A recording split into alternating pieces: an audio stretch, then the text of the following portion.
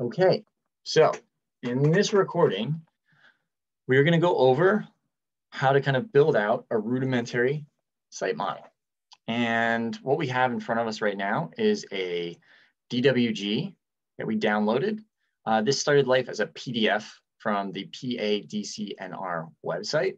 This is of uh, Camelback Mountain and the Big Pocono State Forest, State Park. Um, we've downloaded it looked at it in, in Illustrator, saved it as a DWG file, and opened it in here. Uh, we have made sure that it our Rhino file is in feet, and we have scaled it up to match the visual scale that's on the map. Now, different maps on the PADCNR our, our website look differently. So your map that you use may be 500 feet as the max. It might be 5,000 feet as the max. So be careful and make sure that you get it in there and scale it up real carefully. Uh, this rectangle is just a vestige that we had on there um, just to check that we were at the right scale. And just grab those and close those. Okay, so this PADCNR uh, map came in, we're at about four megabytes for the size of this file. And you can see that when I select it, it got, it has all of the information on here. Now I could use explode and that would blow it into probably several thousand parts, but really we're just gonna use this as a reference. So we wanna be able to snap to it and look at it. We have it on its own layer. I'm gonna lock it. And by locking it, that way I can snap to it, but I won't change it. I won't accidentally grab it. And since it's made out of so many parts, that's really important so that I don't accidentally move it and then fling it 200 feet in the wrong direction. Now, previously, we had identified this lower loop trail as where we were going to kind of look at as a site for our project. We already have north, uh, north is uh, up on this map, so we don't have to adjust it any further. Uh, we noted before that this site by the North Trail lower loop overlooks these um, catchment ponds and wetland that's here. Um, it overlooks another overlook, and so it looks up at another overlook at the top of the mountain and it and it, we kind of generally want to face west and south from this site, not east where Interstate 80 is. So we're going to focus on not on building the entirety of this map, but we're going to focus on building this area in a little bit more detail and reference, and perhaps some of the view sheds or the areas that this site can see. What we're not going to spend time doing is, is building stuff that the site doesn't look at. So we're not going to build beyond Interstate 80 because we're viewing that as a perceptual boundary of the site. And we're not going to build stuff that's around on the backside of the mountain that we can't see. So without further ado, let's go over into here. Here is our perspective. And I'm going to turn this into parallel because we know it's a bad idea to model in perspective view. So we're gonna go to an isometric view. There we go. We're gonna zoom out just a little bit here. Zoom extents, both of the, the right and left and front views. Um, and when we were zoomed in on this view before on the top, we saw that some of these are labeled in terms of the heights that they're at. So 1100 feet, 1150. So each one of these topographic lines represents 50 feet in elevation. Some of these islands that are here represent a increase in elevation that's insular to that plateau. Um, but these, these islands down here, this little hook down here, these little uh, nodules, all of those are a level of detail that's way beyond what we need to be modeling. So we're interested in this area. So let's make a site boundary and we'll make it a bright magenta color. And we'll put it on here just to kind of keep ourselves focused.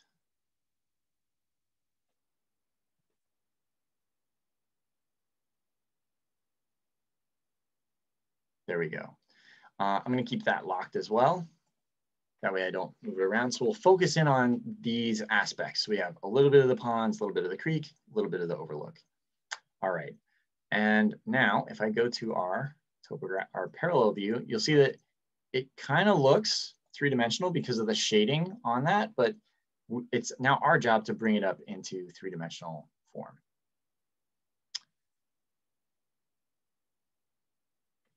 I'm gonna just grab this and float our rectangle up off of that grid just a little bit and then lock it again. So this is the area that we're interested in looking at. And now what I'm gonna do is just get some vertical control on here. So from this edge, we're gonna go up 1100 feet. And we could go up 1100 feet, but because this map starts out at 1,000 feet above sea level, let's just make 1,000 feet above sea level our zero. And let's start out at 100 feet. It's going to be a lot easier. Now, what I'm going to do is I'm going to make a series of construction lines at 50 foot intervals. I'm just going to set up a grid for myself. Now, you could do copy paste here and each one of those is going to be 100 feet up. I might even want to put those on a new layer.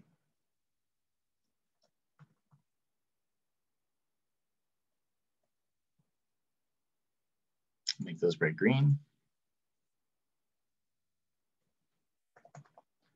Remember, setting up your model carefully is really boring, but it's super helpful.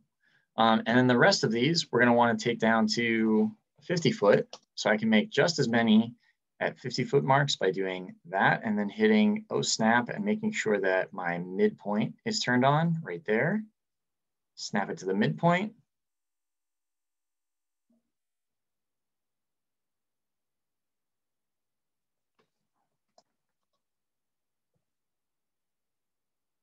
You'll see that I'm putting double zero prefixes on my layers. And the reason for that is just so that they can, I can stack them and keep, um, keep the layers kind of organized. We're gonna change those. We're gonna change layer of those 50 foot marks there. There we go. All right, so you can see there are my lines to snap height to in the right hand dimension. And now I can start to kind of set some heights for some pieces. Um, I'm going to use that with a combination of this piece and this piece. So the first thing I'm going to do is to try to set some of these heights. So we started out at a thousand feet is our zero. I'm going to start by just making some rectangles that give me some baseline heights of things. So let's zoom in and find, there we go, 1400 feet. Let's find a thousand feet. All right, right here is a thousand feet. So I'm gonna make a square. I'm gonna snap it to that height right there. And you're gonna see, let's just do shaded. You're gonna see it come in over here. Now, basically what I'm doing is I'm making a jig for myself. And again, a lot of preparation, just like in the woodshop, a lot of preparation of a jig will quickly allow you to kind of improvise a site. As you practice this and get better at it, you can mock up a site. So, and this is very important. This is mock up for kind of like preliminary design or schematic design um, when you want to go over something quick. The reason why I'm teaching you guys this skill is because this is the first thing that you need to do when you're in a firm. This is not how to make an accurate site model. That usually engages other consultants. So what we're gonna do is make a jig. The jig takes a long time and then the rest of it flows together very quickly. So let's work our way up to 11 to 1050. Just gonna make another rectangle right there and I'm gonna snap it to 1050. And we're just gonna keep going up until we get to the plateau. And I'm just gonna walk my way up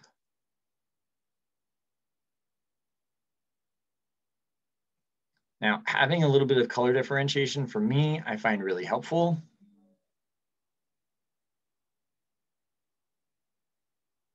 That way, as things start to overlap, I can still keep track of them. And it's kind of, it's kind of dumb, but I'm just building stuff where it needs to go. This one's gonna be relatively small. I wanna make it actually a little bit bigger than it needs to be so that I can see it easier. All right, we just attached to blue, so we're gonna attach to green. And now we're at the top of the viewing at this lower spot. I'm gonna make this actually really big. I'm gonna make this almost the entire size of that site and attach it to this blue line. Okay, there we go. I'm gonna continue that as we go up this hill here. So we're gonna go over to the 1400 spot right here.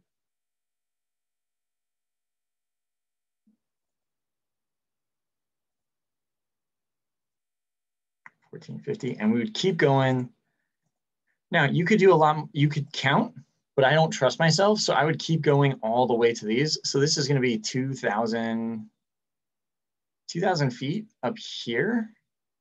So I'm gonna go to 2,000, which is to here, and then another, so we're gonna need to do this spot there. And then I'm going to trace over top of it. And we're going to go up 1,000 feet, not 100, 1,000 feet.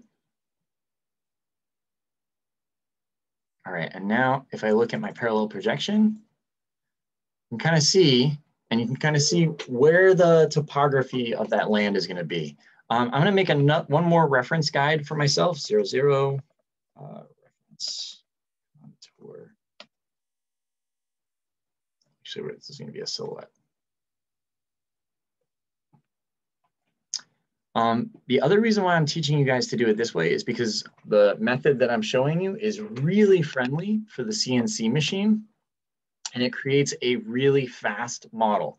More higher accuracy models that really use these topo lines to extract to create a mesh are really beautiful, but they're so heavy and complex that your computer spends a lot of time rendering just the landscape when you really want to spend it rendering your model.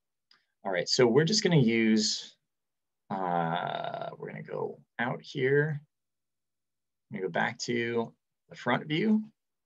I'm going to zoom in. And we're going to take a spline.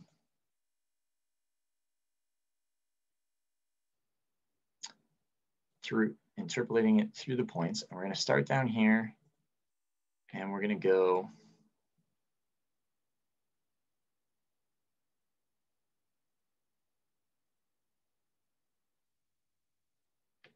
to these points.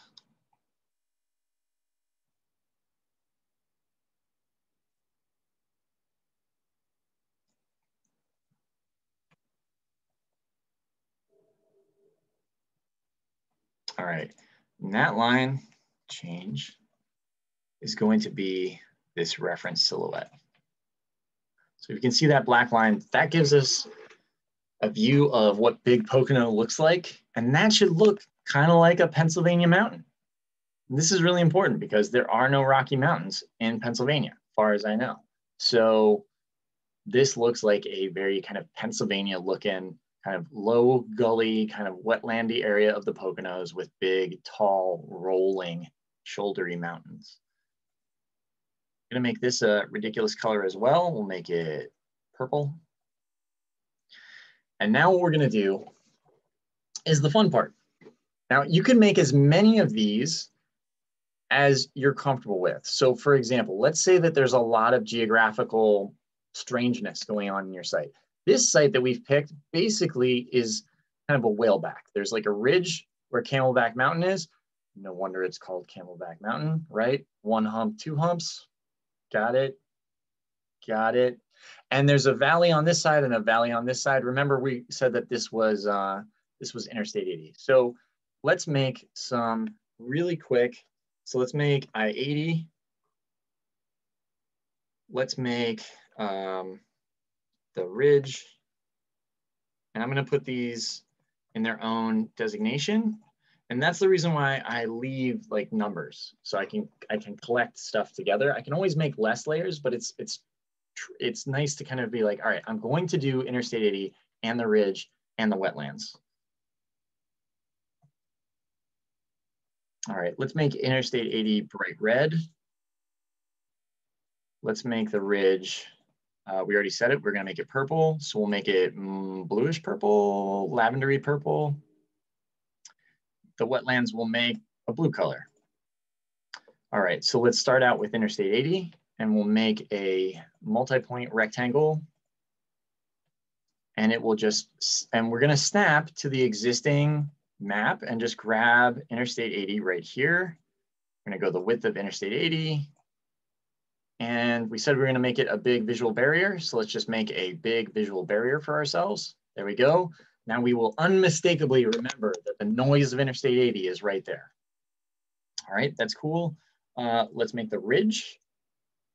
Again, we're gonna go over here and do a three point, sorry, I'm gonna do a three point rectangle. let's grab the spine of that ridge all the way out to you know, this point here and make sure that we match the height on that piece already. There we go. Cool stuff. And we'll do some wetlands. I might do that in just a, I might do that. Mm, no, we'll do it now. We'll do it now. So we're gonna activate the wetlands. And instead of doing a cube, I think I'm gonna do kind of an oval shape in this area and you'll see why momentarily. So we'll do a, not a cylinder. Should we do an ellipsoid? Maybe, yeah. All right. No, we'll do a cylinder. Okay. And I'm gonna do it this to a height right underneath of this. Once I make that circle, I'm gonna copy it and move it around a little bit.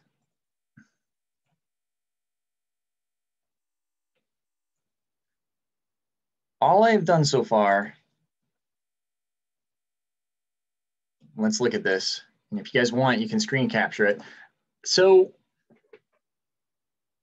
worst case scenario, you've just made a site diagram.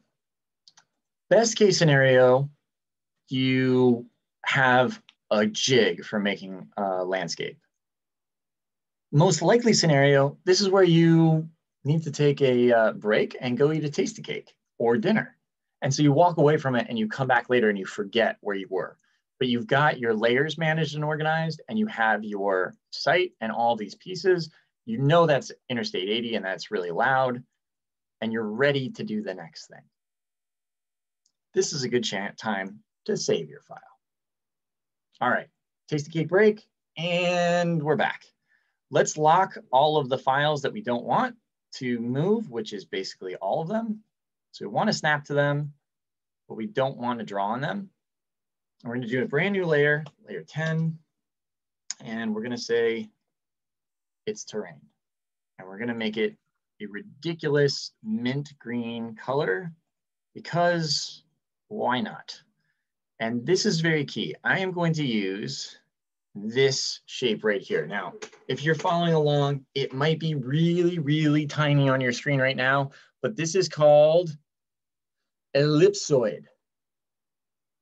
And I'm gonna do ellipsoid from foci. Now, yeah, yeah, we're gonna do ellipsi from foci. All right, we're gonna set terrain to be our and what I'm gonna do is I'm gonna grab the foci of this and I'm gonna make, we, we were talking about these landforms before as being bean, sausage, pouch shaped, all right? They're kind of like, um, they're kind of like blow up animal balloons. And as a matter of fact, that is the best way I can describe what we're gonna do. We're gonna make these landforms by move, moving together a bunch of kind of animal balloon type shapes. The objective is not to do big or small. The objective is to do it in an efficient amount. So remember, we want more detail over here where we already have more detail in the map. We want the most detail right here where we already identified that as our site. So to get the camelback, I'm going to make the foci of the camelback, and we're gonna put that big blimp shape right there, right where it should be. And then I can dynamically squish it. And this is why I'm in a shaded view, because as I dynamically squish the blimp, you can see that it starts to show the purple ridge of my jig coming through. And I can make the blimp even bigger by just repeating that ellipsoid shape. So let's do it again. From about here to about, mm, I'm gonna turn ortho off, about here, about that wide. It's a little too wide.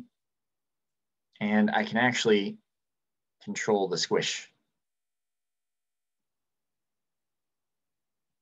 Now, using the gumball, I'm just moving these down or up to try to hit some of those positions. I could add more of these pegs if I wasn't confident about where it's going. Now, notice that I'm gonna leave a big chunk of this flattened blimp over here, and I'm not even gonna worry about it because it's outside of the boundaries of this red box.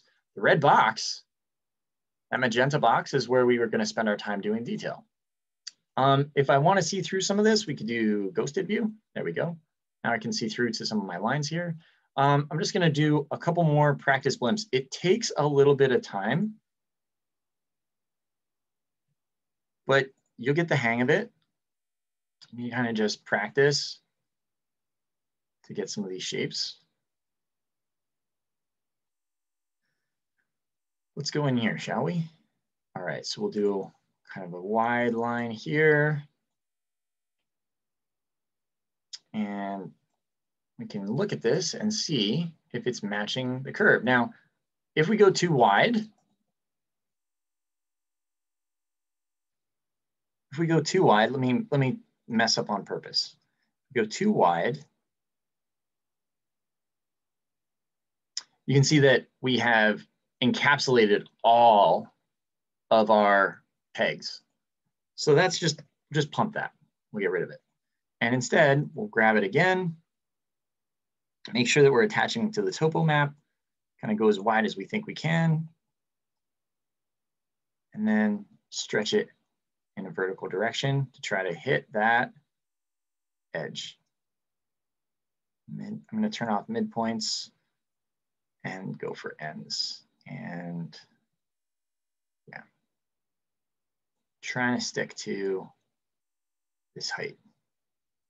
There, you can see that we're a little bit close, but mm, no cigar. So I'm gonna lower this down just to see where these edges are coming out. And you can see in our in our drawing, let's just go back to our view here of the right side. Nope, sorry, the front side. Let's do a ghosted view. So you can see that we can even move stuff around just in an orthographic view like this, and just to kind of get a feel for that edge. So if you look down here, we actually have a pretty good hit of that hill, but we need to we need to crest a little bit more here. So we need to start that oval in and basically what we're gonna do is just keep, um, well, I refer to this landscape making as blowing bubbles. So what we're gonna keep do keep doing is blowing bubbles. And what I like about this is that it's repetitive, and so you can refine it as you move along. And it means that you can start really basic and you can get more and more fancy, or you can pull back and it's no big deal.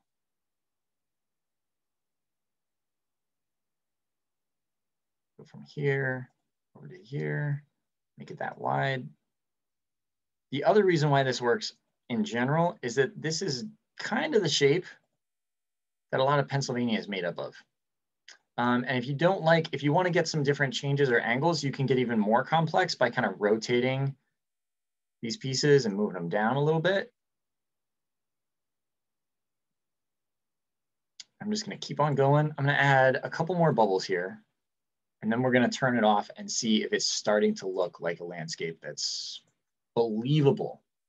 And this is also really important because for beginning design, for ideation, for early model making, what is important is that you're communicating the idea and that you're spending time working on, you know, working on refining the idea. If you spend too much time making your model extra super hyper accurate, you're going to waste a lot of design time where you should actually be iterating, worried that it's perfect when it's not.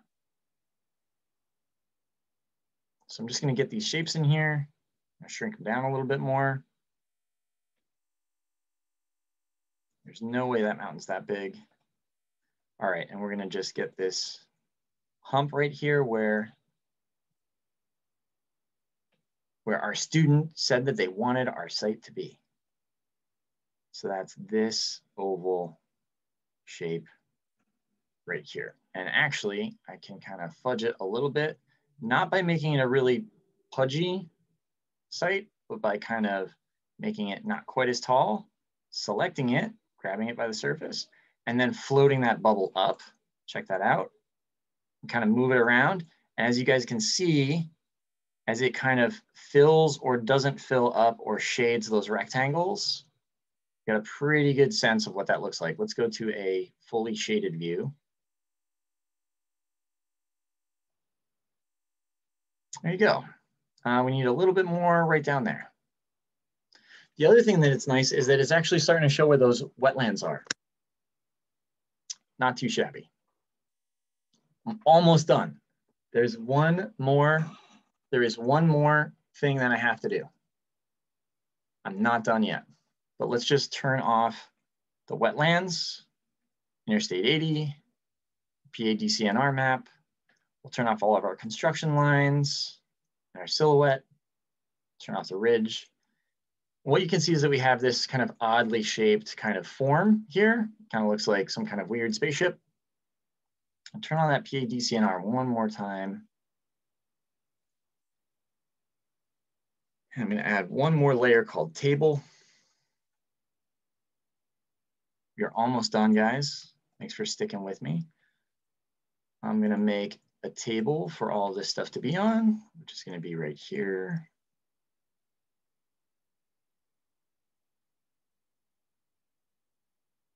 It's right underneath that. I'm gonna just cut some of these pieces. So we're just really gonna quickly boolean these.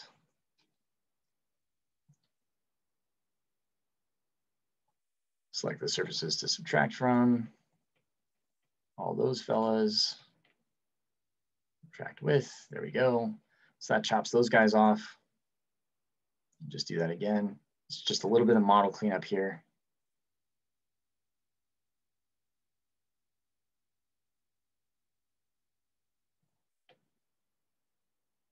hang in there, we're almost finished. So again, some good model making cleanup practices are important just to kind of decide like, all right, gives me a minute to think before I'm gonna do my next step. All right, and we're just Boolean difference this, select surface or poly surfaces to subtract from and to subtract with, and we're done. Okay, there we go. I can turn off PC, PA DCNR. We're gonna activate the table. change layer, that on the table. And we're gonna do one more layer, 30, and this is called the drape layer. And we're gonna make it pink. Okay. Zoom extents on all my windows. So get ready for this new command. Now this is a command we have not used before.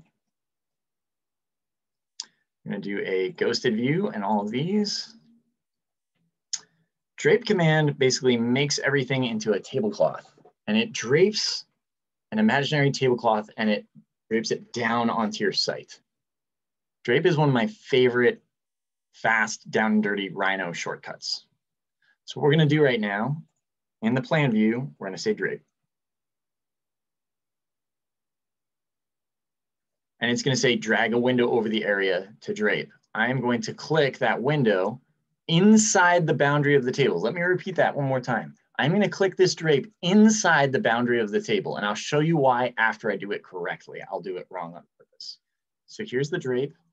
I'm to let it go. And here's what you're going to see. If we look at the parallel view, what has happened is that we have draped a very fine mesh over the surface, like a vacuum table. And what this has allowed us to do is to create a simulacra of Camelback Mountain in one tenth the time and one tenth the model size. Hey, Andrew. Of a super accurate model. Yeah. Can you just do that one more time? You got it. This is my favorite command. I love this command. So we've made this really weird pudgy model, right? I've made this blocky table right here. We're gonna use the drape command, D-R-A-P-E. And the drape command says, drag a window over the area to drape. So what it will do is no matter what orthographic view you're in, it will make a mesh that falls and as it hits objects, it will stick to them. So I'm gonna use it in the plan view and I'm gonna drape across the tabletop. I'm gonna stay, let's do top view here. I'm gonna stay inside this tabletop with a drape command, like this. All right, so I'm tracing just inside the table and I let go. You'll see that it makes this grid and then all these things get wrinkly. Let's go to the parallel view so you can see what it looks like. You'll see that there's a really fine mesh that it's built. And a mesh is not a solid object. A mesh, a mesh is a complex surface governed by a complex equation, but it's not solid. It's actually made of not, it has no thinness. And you can see right here, it looks like this. Now, the more stuff that you add under it, just like a vacuum table, or if you ever like vacuum pack something, the more stuff that you add underneath the drape, the more definition it will have. So you can see that where there was some fall off around this egg shape right here, you can see that the drape just kind of falls in a way that, you know, that valley doesn't work. This means also that you can Boolean and scoop shapes out. So you don't just have to make these like inflated flat pancakes, you can scoop shapes out of other shapes as well. You could even do the, and the reason why I turned off Interstate 80, let me just move this one over here. If I turn on Interstate 80, and I go back to the drape command, I'm gonna do two things wrong this time on purpose. So Interstate 80 is right here. I'm gonna do the drape command, and I'm gonna drag the window over the table, over Interstate 80, and I'm gonna miss the table edge. I'm gonna let go. And we're gonna show you what that looks like. So in the parallel projection, you'll see how the drape command errored around both interstate 80 and the table. So as I move this up, you'll see that it maxes out, but we've got this really weird shape. And as a matter of fact, it's complex enough that my, I can feel my computer slowing down a little bit. So let's just put these two next to each other so you can see what they look like. Orange, not the best color to kind of show them off, but let's do a shaded view. Let's do a, there. All right, so now you can see the pixelation in this one is a lot less, whereas you can see that the pixelation in this one, there's some really big problems. Drape does not like extreme changes. It's really good at landscapes. It's really good at subtlety. It doesn't, it kind of freaks out when you try to do it over other stuff. Last thing I'm gonna show you though, is that you can do this command called rebuild. And when you rebuild something, you can tell it to add or subtract um, more, um, more elements to it. So it'll simplify it. So you can see that this rebuild, let me just undo that again. Let me make a copy of this.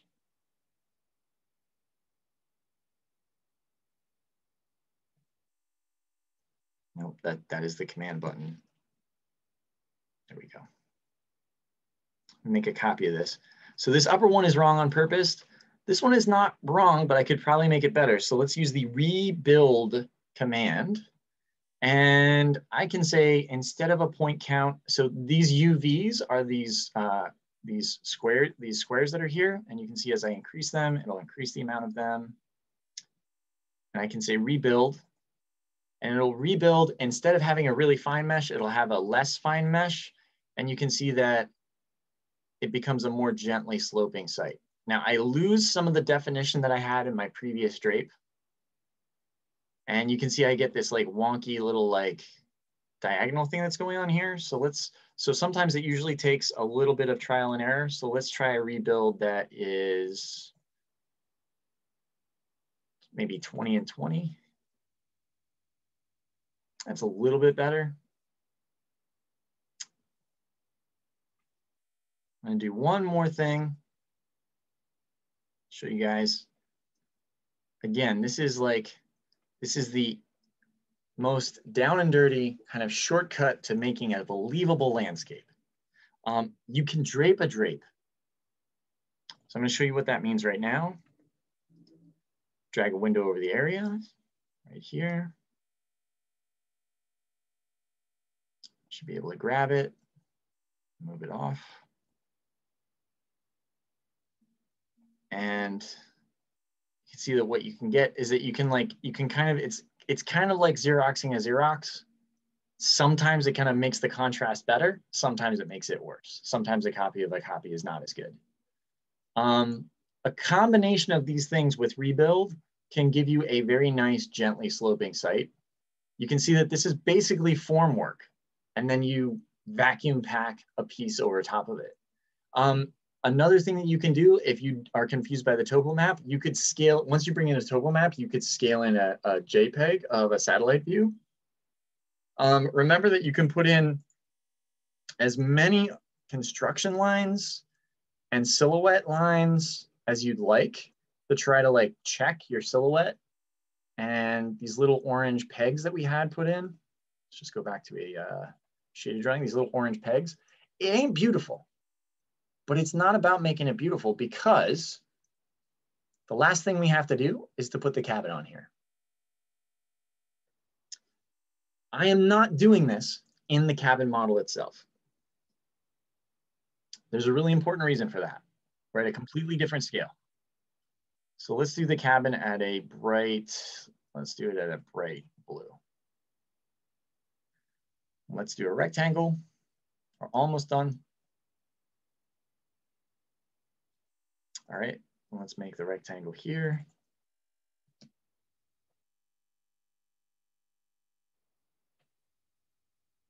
Uh, all right, our cabins are what, 15 feet by 15 feet?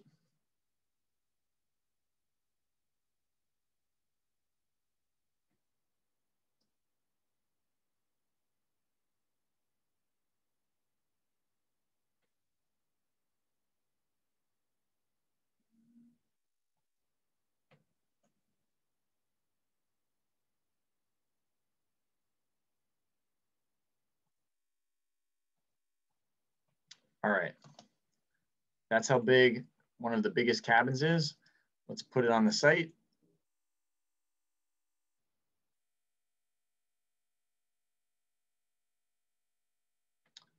Come on, buddy.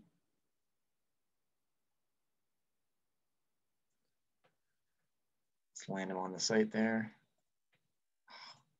So tiny. So tiny.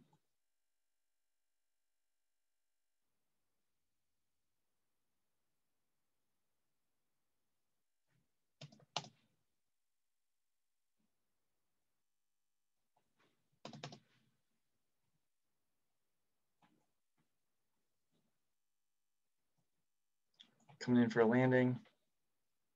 Zoom selected. All right, and this is the other reason why we go about doing this is because you guys can see it's really, really small. He's so tiny. That's Kelly's cabin right there. That tiny blue dot. I don't even know if you can see it if I do a rendered view. It's so small. So the other reason to make a site that's maybe a thousand square feet by a thousand square feet is that anything else doesn't matter. So oftentimes students will start making a really detailed site when all you really need is this view, that view, and here's the thing that I would do. I would go back to the diagram that we made at the very start where we said what the most important stuff is. And if you've modeled those things, it's time to move on. Save yourself the time and get back into your cabin model. If you've made your cabin model with all the parts and pieces and you've made your landscape model, you're ready to make a to open a brand new third model and copy and paste those pieces in to see what they look like. In class on Wednesday, this is very doable to do between today and Wednesday. In class on Wednesday, we'll bring those things together. We'll start picking camera views, talking about detail, and figure out how to tell the intangible story of the space that your cabin exists in. I'm gonna stop the recording right there. Not yet, almost. There we